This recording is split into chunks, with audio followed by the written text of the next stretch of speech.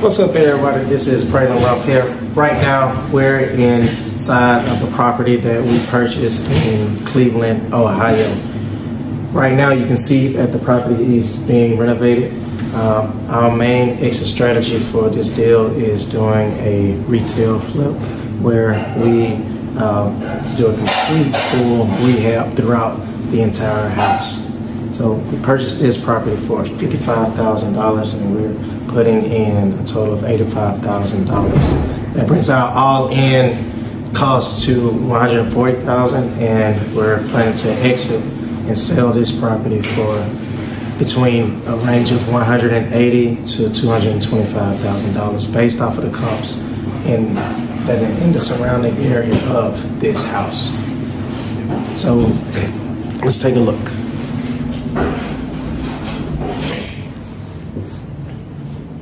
So, can I switch the video up? No, don't look like it. Extend this. So this is the uh, front of the door here, and walking through to the left of the front door, you have a uh, sitting area. It has the stairwell that goes up to the upper levels, and continue walking, you have a small dining area over here, and there's a kitchen that's over here. So, as you can see, we're in the phase of the project to where it has been mostly drywalled. Uh, so, a lot of the demolition work is, well, mostly all of the demolition work has been done. And this section of the house has uh, two rooms here um, that were added on from the previous owner. And it as well as drywall. I have to finish uh, mudding in here, looks like, and uh, adding the tape between each seam of, the, of each sheet of rock.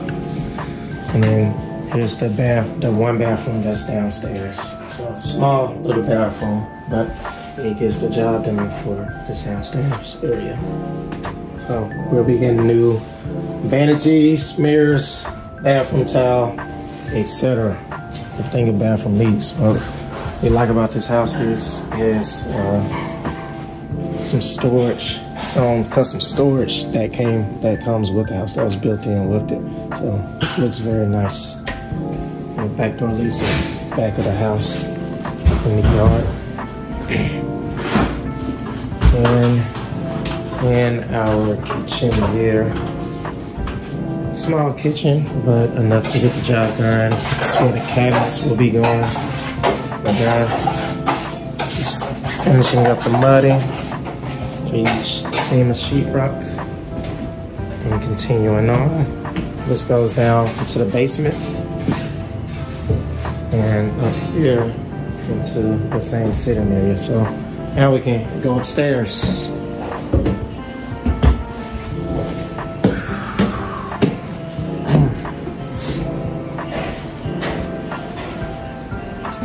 Stairwell is nice. And upstairs they have most of the mudding finished. Uh, yeah, most of the mudding finished upstairs. So we have the additional two rooms up here.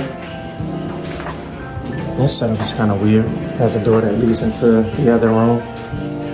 And back here, there's, there's uh, opportunity to add a space for a deck up here. And of course handrails so that it's safe. That's a bedroom right here. Forget my voice. My voice is uh, hoarse. I've been talking a lot today. And then I have a bonus bedroom in the attic here. Oh, don't worry, don't worry, no. Excuse me, excuse me. Thank you, man, thank you.